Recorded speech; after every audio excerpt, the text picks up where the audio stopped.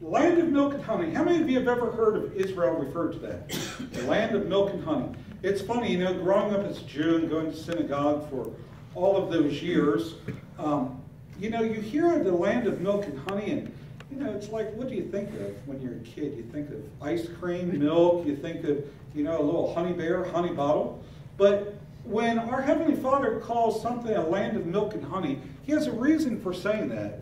And today I want to talk about the land of milk and honey. I want to talk about the Jordan. I want to talk about the, the, the Jordan crossing for just a little bit. And most importantly, I pray that we become a part of the story tonight. Most ancient civilizations held their rivers to be sacred, the Nile, for instance. And uh, the Egyptians actually worshiped the Nile. And it's fascinating because I was going to just touch on this, and Brother Jim Jones had taught a class uh, last week where he was teaching how each of the plagues uh, that was brought against the nation of Israel, uh, nation of Egypt, the land of Egypt, was brought against one of the false gods that they worshipped. But anyway, the Nile was one of the things that they worshipped. Uh, Israel never did. They never did worship the Jordan. The Jordan was not seen as something that was sacred, but rather the Jordan was seen as a boundary, something to be crossed. You know, and then of course for, you know, thousands of years, believers have been talking about, you know, crossing the river Jordan. You hear that? And uh, we've written songs about it, we've talked about it, but today I want to touch on it as we talk about crossing from the wilderness to the land of milk and honey. The problem was there was the Jordan River. There was a boundary between the two. Some have the false notion that the Jordan River, they see it as the roaring Mississippi. Have you ever seen the Mississippi River? Yes. Uh, the wife I mean, we've traveled over it by bridge. We've been on it by cruise ship. Um, and, you know, it's funny because people who've never, I've never been to Israel, I will confess, but people that have never looked at the, the geography of the, the nation or anything else. They have these weird ideas about what places look like. They don't even realize that Jerusalem's like on top of a mountain. Mm-hmm. And, you know, the, the River Jordan is not the Mississippi River. And so the first thing I'm going to do is I want to give you a little bit of information. I know I hate that. I'm going to give you a little bit of information about the Jordan River. Then we're going to join the story tonight. This is a picture of the Jordan. Okay, you see from one side to the other. Now, where this picture was taken, when it was taken, the Jordan River literally is one of the faster running rivers. Now, it doesn't look like so in this picture, but uh, it is a fast running river, and that's because it's running downhill and it's running below sea level, okay, down to the Dead Sea. And the Dead Sea is like 1,318 feet below sea level, okay? You may not have known that. But the Jordan River, I want you to notice how wide it is. This is about the width of the Jordan River, the entire length. If we can capture a shot of this for those who are watching by YouTube, so they can see, this is about the width the entire Jordan River is. Now, I want to show you, and it's kind of tough to see here, but literally from uh, Mount Hermon, which is at the very top, that's where the springs are. And the springs bubble forth from Mount Hermon, and uh, they bubble all the way down for about 25 miles to the Sea of Galilee. The Sea of Galilee is filled by the springs from Mount Hermon. And then, that's the River Jordan there for 25 miles. Then it gathers in the Sea of Galilee, and then on the other side of the Sea of Galilee, the River Jordan again travels this length here for the distance of another 65 miles. So it's about 90 miles in total, but with all the winding and turning, they say it's about 200 miles in length. It's like about 90 miles, but then with all the back and forth and the snaking back and forth, it's about 200 miles in length. So again, I want you to see the geography of the land and to see the River Jordan and the approximate width as we get into the story here in just a moment. This, again, is just another picture of the same thing, except here you see the Dead Sea, which is, I was close, 1,368 feet below sea level. So all the way from Mount Hermon, the water comes out of these springs, bubbles all the way down, and the River Jordan does run in some places very fast, but does not get very wide. now, on one side of the River Jordan, was wandering in desert. How many of you know Israel, we said they were in the desert for how many years? 40, 40 years. Okay? And each year was a year's punishment for a day that the spies went into the spy out the promised land and came back with a negative report and convinced all of Israel except for two, Joshua and Caleb, not to go into the promised land. So they suffered for 40 years, literally, until that generation died out and a new generation came forth, one who would inherit the promises. So on one side of the Jordan was a place of wandering and desert. Have you ever been that place in your life, a place of wandering and desert? A place of dryness, a place where, you know, your Heavenly Father's meeting your needs, but it's just like you don't know what it is that He wants you to do with your life. I think that can be sometimes one of the driest places. When you're walking in faith, you're serving the Father, you're following Yeshua, but you're not sure where you're following Him to. And every day is just another day, and you're praying, saying, Father, what is it that you would like me to do in your kingdom? And how many of you know He has something He wants each and every one of us to be doing in His kingdom? Amen? Amen. Something. Something. I gave Zach today, a, uh, this evening, a letter. Uh, we received a letter um, from a man in prison in one of the jails here in Abilene. And um, he had heard the um, advertisement for Tikva L'Chaim. And uh, he was in, interested in the Messianic movement. And so anyway, he wrote a very nice letter. So Zach has taken on the uh, uh desire to write this man and fellowship and to encourage him in his faith while he's in prison, almost like a little prison ministry. And so uh, we all have something we can be doing. Amen? I tell folks, do something unless you end up doing nothing. Our Heavenly Father has not called us to be seat taker uppers or to be attenders. That is not the body of Messiah. The body of Messiah is living. It's a vibrant organism, every part fitly joined together doing its part. But anyway, on one side was wandering in desert. On one side was the land of milk and honey. How many of you like that place? land of milk and honey. I think now when I think of milk and honey, I think of milk and Oreos. But on the other side was the land of milk and honey. Now, they called it the land of milk and honey. And the reason they called it that is because in the mountains and the hills, that's where the goats and that's where the sheep had their pastures. You know, again, we've got this Western idea of the pasture lands in Israel being for the sheep and the goats, and that's not true. That is not the case. That was the place where the farming took place. And where the farming took place, that was the land of honey. Everybody say honey. honey. Why? What attracts honeybees? Is plants and flowers and everything else. So the farmlands were known as the land of honey, and the hills were known as the land of milk because that was the place where the goats and the sheep. Matter of fact, uh, uh, in the Psalms where it says he uh, he leads me beside still waters, he leadeth me into what green pastures. Pastures. Those green pastures. You know, it's funny because you know on Facebook sometimes you see these posts and it's got this luscious green pasture. It looks like it was taken in Nebraska or something, hmm. and it's got this sheep in the middle of it just eating all he wants. And that's not really the right picture. The right picture is the hills of Israel and the humidity causes the grass to come up in the cracks and the crevices. I know it sounds weird, but I'm telling you the truth. And the cracks in the crevices of the rocks in the hills, sometimes that grass only lasts for one day before it withers up in the heat and dies. So the first thing in the morning, guess what the shepherds are out doing?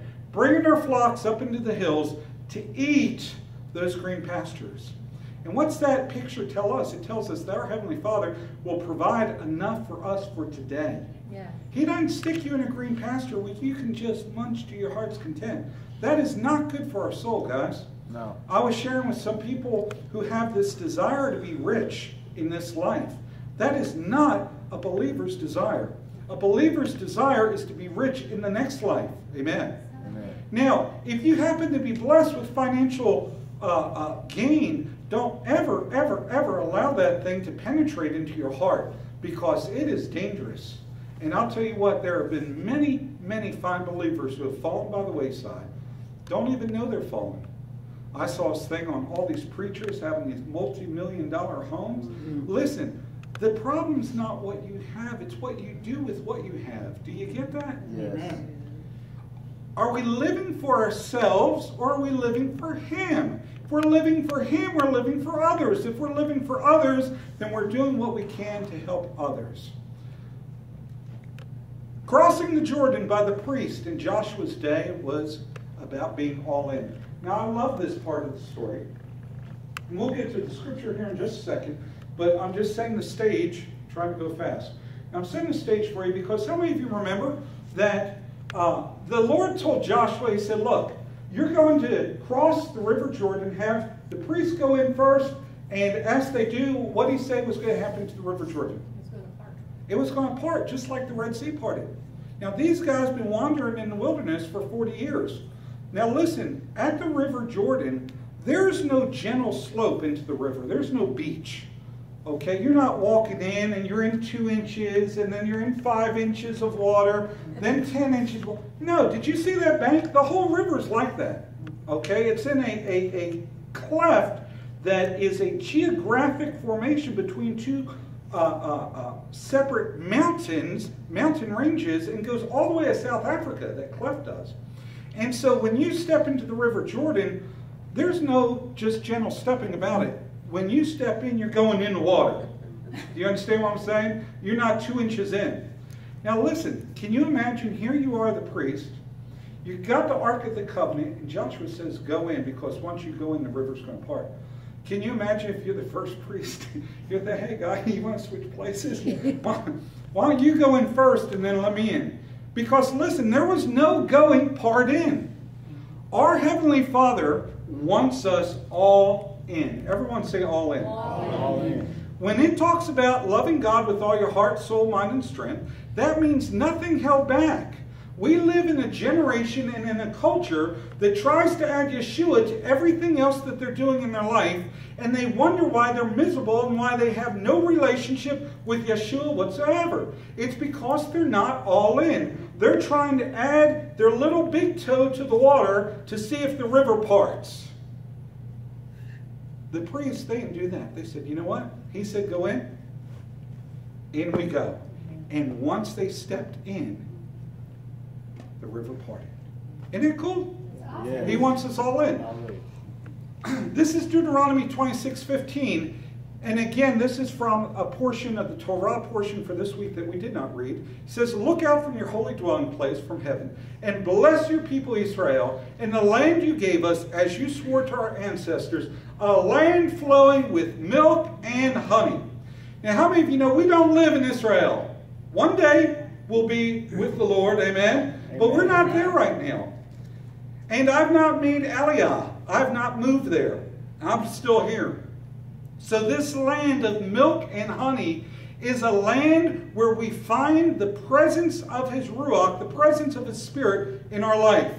And you know what? We can find that land of milk and honey every day in our life. Someone say amen. amen. But it only happens when you cross the boundary, and that boundary is the Jordan, and that only happens when you're all in. Stop tiptoeing around in our walk and in our faith. Amen? If the thing I can get across to believers is you and I need to follow the rabbi with our whole heart, we need to be all in, nothing held back. I'm not holding back my finances. I'm not holding back my time. I'm not holding back my energy. I'm not holding back my strength. I had somebody pay me a compliment, uh, uh, uh, a guy from from our Wednesday night service. And he said, man, he said, whether there's five people or a hundred people, you know, you just give it your all. I'm not doing that to impress people. I'm doing that for him because I'm all in. So whether it's me, my wife, and my son, we're going to be all in. Amen? And I'm hoping to bring as many people with me who want to be all in. I'm not interested in this mamby-pamby religion that America's offering people. I'm interested in the way, the truth, and the life. Through Yeshua, I'm interested in people who say enough is enough. I'm going to follow him with my whole heart. I'm going all the way into the River Jordan. And you know what was funny? The father said, Go into the river, then I'll part it. He didn't say, you know what, guys? I'm going to go easy on you. Let me go ahead and let me part the river for you first, then go ahead in. There's no faith in that, guys. And without faith, the scripture says it is impossible to please who? God. To please the Father. It's impossible to please Him without faith. Faith comes when He says to do, and you do out of obedience. And when you obey, then the Jordan parts. But most of the time we hear His voice and He says to do, and we're just, well, Father, I will, but if you do this first. No, it doesn't work that way. He speaks, we listen. And once you learn to do that, then you start seeing the Ruach, then you start seeing the Holy Spirit working through your life and in your life in incredible ways. Because then you're like, yes, Lord, I'll obey. I don't understand it, but I'll obey. Walk for Israel? Yes, Lord. I'll obey. Don't understand how it's going to come about, but this is what's on my heart. We'll do it. You follow me? Yeah. I'm bragging on the Spirit because He speaks to us all the time if we would but listen. Deuteronomy 27, verse 2 and 3. When you cross the Jordan to the land Adonai your God is giving you, you are to set up large stones, put plaster on them, and after crossing over, write this Torah on them, every word, so that you can enter the land Adonai your God is giving you, a land what? Flowing with milk and honey, as Adonai your God, uh, the God of your ancestors, promised you. Aren't you glad God keeps his promises? Yes. Hallelujah. The hills were the land of milk, the farmland was the land of honey. The pastures of the flocks of goats and sheep were in the hills, except directly after harvest. Listen, the only time they came down from the hills and were allowed into the farmland was after the harvest. The farmers would allow the, the, the, the shepherds to bring their flocks in and to eat the little remains because it helped to bring the soil. That's why I know for a fact Yeshua wasn't born December 25th. Remember when the, the who the angels appeared to, guys? Shepherds. And where were they, Jim? In the fields. Well, they weren't in the fields except after the what? After the harvest. So that was sometime between July and August, uh, or September, excuse me. July and the end of September. The farmlands were the home of the honeybees and some of the sweetest honey on the planet. Have you, of you ever had honey from Israel? Yes. How good is it? Wonderful. I bet it is. Did you bring any tonight? Well, don't tell me about it. No, I'm kidding. Deuteronomy 27, verse 5 through 7. And there thou shalt build an altar unto the Lord thy God, an altar of stones. Thou shalt not lift up any iron tool upon them. Now, why do you think the Heavenly Father, He wanted them to build an altar where they crossed the Jordan, just of stones, but not to have any iron tool worked on the, on the stone, and just set it up as a memorial? Verse 6 Thou shalt build the altar of the Lord thy God of whole stones, and thou shalt offer burnt offerings thereon unto the Lord thy God. And thou shalt offer peace offerings, and shalt eat there, and rejoice before the Lord thy God. Sounds pretty cool, doesn't it? Set up some rocks. You get to have a picnic. You get to eat there. And this is going to be a memorial for your generations that this is the place that you crossed the Jordan on dry ground when you obeyed the word of the Lord. Why were they told to use rocks not hewn with iron tools? It's important. Why could the altar not be of stone worked by human hands? Because it symbolizes our own strength and our own might. Mm-hmm. It wasn't by our own strength or by our own might that Israel crossed the river Jordan. It was by his strength and his might. Listen to me, guys. If you don't hear anything else tonight, hear this. Stop trying to do things in your own strength, in your own might. Because all you're doing is you're taking iron tools to his altar. And what I've learned in my life, in my 33 years of serving Yeshua, is this. He'll do the most through me when I get out of the way. Mm-hmm. The less I do, the more he'll do. Now, I know that sounds really simplistic, but it's really, really, really true. Because in our lives, how many times do we try to do something for the Father and then we're asking Him to bless it? Instead of finding out what He wants us to do, and then guess what? It's already blessed. It was not human endeavor that brought Israel to the land of milk and honey. Who brought Israel to the land of milk and honey? Our Heavenly Father. So, how do we join the story? We're always talking about joining the story. It's pretty simple. We join the story because we recognize where you and I are at in our walk with Yeshua today was not by human effort.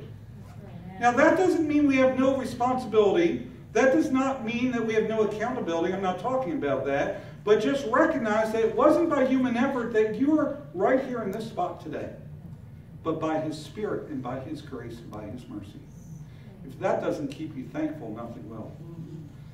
The older I get, the more thankful I feel myself becoming, which is, you know, it's weird. Why? Because I'm recognizing none of this is of my own doing, but of His doing. I'm, and I'm not talking about ministry stuff. I'm talking about none of this being His grace and His work in my heart. You see, you'll never do ministry stuff until you stop trying to do stuff and allow His Spirit to do in you and to form Yeshua in you. Remember, Messiah in us, Moshiach in us, the hope of what? Glory. The hope of glory. Amen?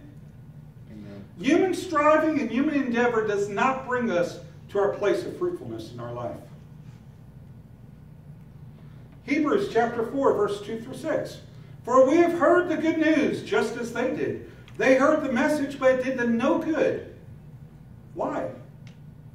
Now it's talking about unbelieving Israel. Why did it do them no good? Because when they heard it, they did not accept it with faith. Verse 3 We who believe then do receive that rest which God promised. It just as he said, I was angry and made a solemn promise, they will never enter the land where I would have given them rest. He said this even though his work had been finished from the time he created the world. When did Israel enter their rest? I'm speaking now of entering the rest from the wilderness was when they crossed the river what? When they crossed the Jordan. They entered into the promised land. This was the place of promise. There is a rest that belongs to the people of God. And the Shabbat is but a, a, a, a picture, a, a snapshot, an Instagram, if you would, of that rest that belongs to the people of God from self striving and self seeking. It's not about me, it's about Him. It's about His work in me, His work in you, His work in people. Amen? When we make the story not about Him, but about us, we get away from the story and become something that no longer looks and smells like the good news that Yeshua delivered, but becomes something that's selfish, self serving, self purposed. Hebrews 4, verses 2 through 6. For somewhere in the scripture, this is said about the seventh day. God rested on the seventh day from all of his work. Now, did God start work on the eighth day? Now, you've never thought about this. Don't answer, but think about this. How many days were days of creation? Six. Hello? Six. And the seventh day, what? Rested. Is he still resting? Did he start building something? Is there an eighth day I don't know about? The seventh day. He's still resting. Strive to enter into his what? Rest. His rest. Now, this same matter, verse 5, is spoken of again. They will never enter that land where I would have given them rest. Those who first heard the good news did not receive that rest because they did not what? Believe. Did not believe. There are then others who are allowed to receive it.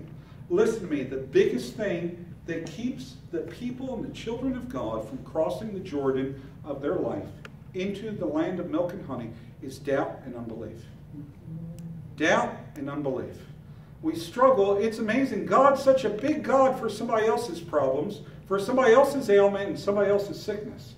But when it's my sickness, my problem, my ailment, all of a sudden I can't seem to wrap my faith around it. Am I the only one, or have you ever dealt with that too? Yes. It's easy to pray for others, but praying for yourself and believing the Father for your life to work in your heart or to use you to reach other people. Hebrews 4 10 through 11. For those who receive that rest which God promised will rest from their own work. Everybody say own work. One word. Just as God rested from his. Let us then do our best to receive that rest, so that no one of us will fail as they did because of their what? Lack of Lack of faith. faith. Lack of faith. Do you understand the gist of what this is saying now? And I'm relaying it into to, to the River Jordan and to crossing over into the land of milk and honey because I tell you what, that generation, unless they finally replace their doubt and unbelief that they had with those 12 spies that went to spy out the land and 10 of them that brought back a negative report, unless they changed from a place of doubt and unbelief to a place of faith, they would never have ever entered into the place of the land of milk and honey. They would have never had the faith to step into the River Jordan and have the Jordan part. Amen? And uh, that word receive, to receive that rest, uh, in the Greek it's spudazo. It literally means to make effort, to be prompt or earnest, do diligence, be diligent, endeavor, labor. Now, in, in some versions it says, let us then do our best to labor to enter into that rest. Now, that almost sounds like an oxymoron. How do you labor to enter into rest? But listen to me, you're doing your best effort through faith and through following Messiah to enter into the rest, the ceasing from me doing my own thing, me taking the rocks and saying, you know what? The Father said don't put any iron tools, but I think I'll put iron tools to them anyway because they'll look better. And we'll just add a little bit here and add a little bit there, and we sculpt it up. And we find that we've missed his rest because lack of faith. And faith works through obedience, guys. Faith without obedience is not faith. Dead. Is not faith. Amen. And that's where we are in America. People said they have faith, but there's no obedience to a lot of anything in their life.